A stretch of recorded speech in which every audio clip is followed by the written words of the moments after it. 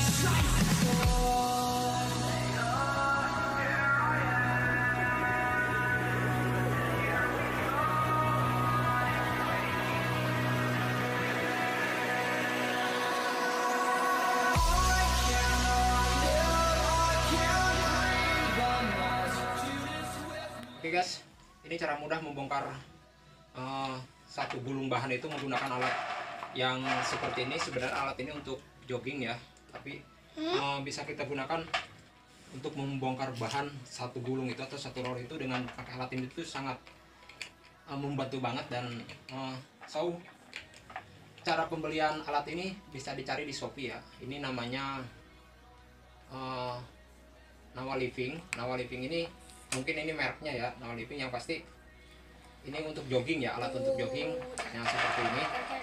Dan mudah banget cara membongkar bahan dengan alat ini. So sekian video kali ini. Semoga bermanfaat. Jangan lupa untuk selalu support channel ini dengan subscribe like comment dan share. Thank you